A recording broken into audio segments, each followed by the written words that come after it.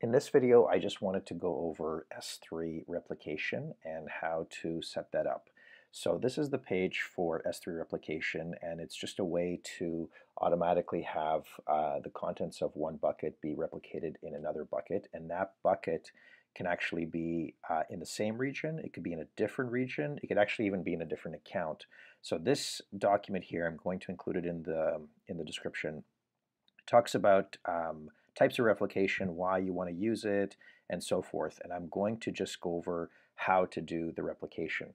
So I'm going to start in S3 and I'm going to just create, um, I'm just going to create a new bucket in S3 and I'm going to call it um, test replication. I'm going to add my name to it and I'm going to put it into this region, US East 1 and I'm going to enable versioning on that bucket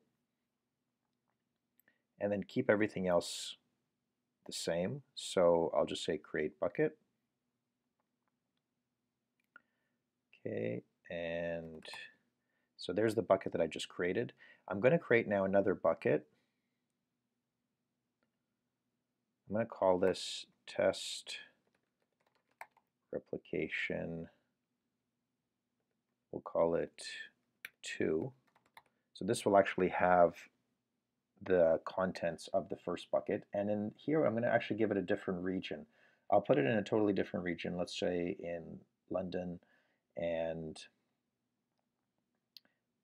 we'll also enable versioning here and keep everything else the same and create the bucket.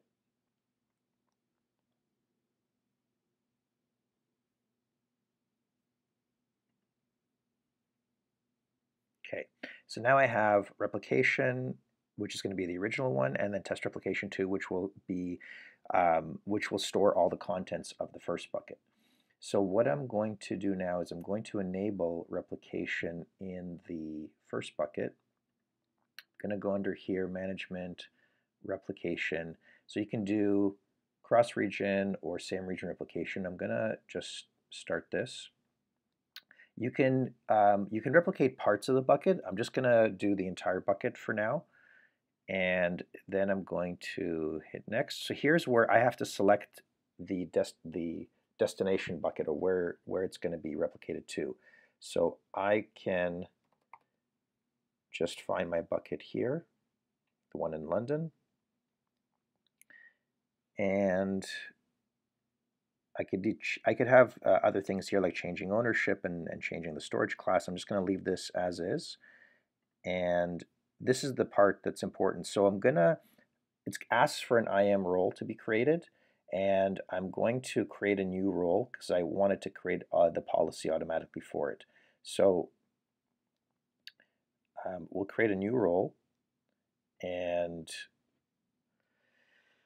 uh, let's just say test replication Misha, and then so then the source is going to be the test replication bucket, and the destination will be test replication 2 in London.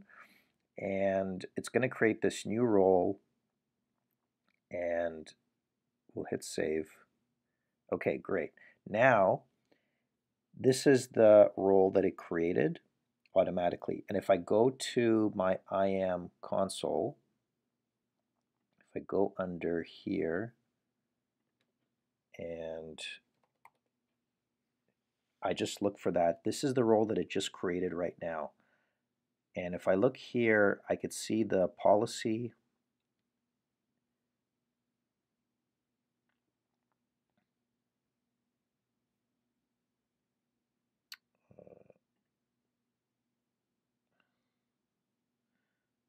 Okay, here's the policy. So as you can see, so it allows listing of the bucket from the first, so it allows reading the first bucket, and then it allows the replicate object and delete and all this other stuff, it, it allows that on the second bucket. So it automatically created that policy and added it to that role.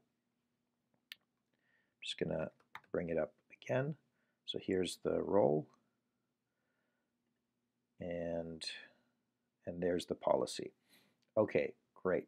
So now it looks like everything is set up for the replication. what I'll do now is I will add a file to the first bucket. So I'm going to upload and then I'm just going to upload this index.html file and I'll say upload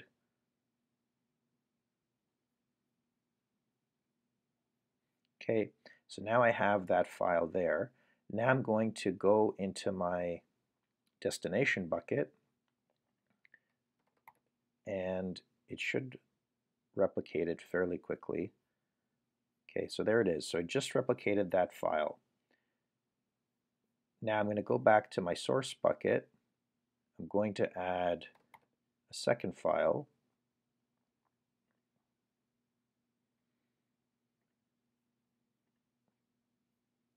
So I'll add that JPEG.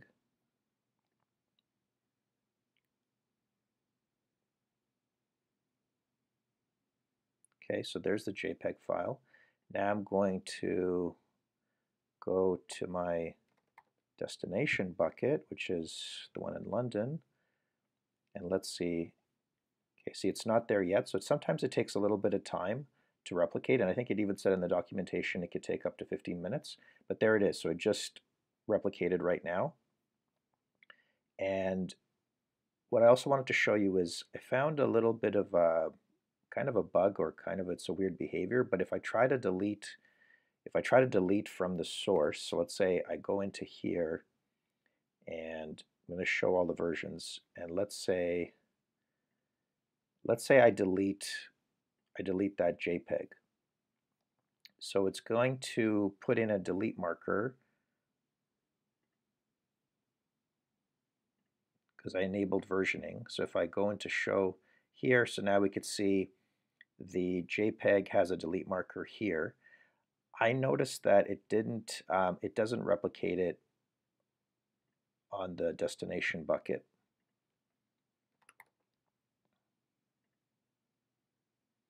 So here it's still showing that JPEG, and if I go to the versions, it's still showing uh, the original version.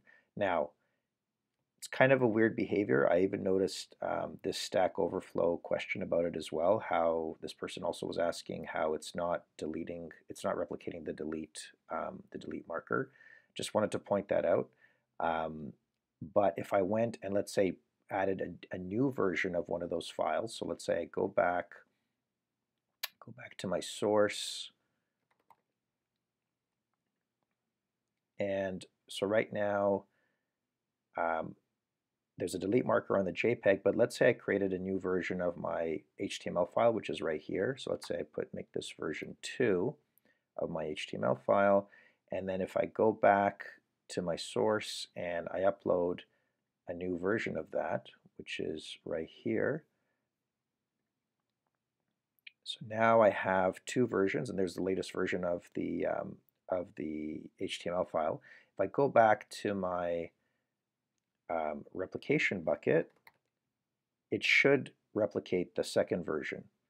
So yeah, so there it is. So it, it replicated the second version of, version of the HTML file, but it didn't replicate the delete marker of the JPEG file. So it's a bit of a weird behavior. Uh, probably has to do with uh, policies and permissions. Just wanted to point that out. And that's it. This is how you would um, create um, bucket replication. Um, the other thing is if you want to um, delete everything, like delete the replication, you have to not only delete the bucket, so what I'll do now is I'll actually, I'll go through the whole delete process. So we'll delete the replication bucket, so that's this one here. And I'm going to delete the bucket.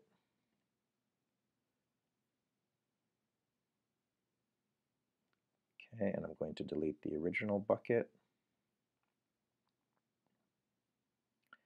So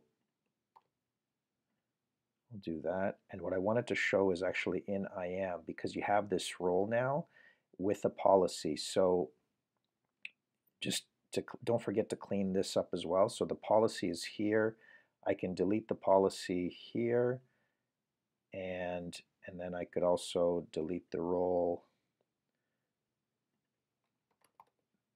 right here. And I'll just delete the role. And that's it. And this is how you set up and uh, bring down the S3 replication.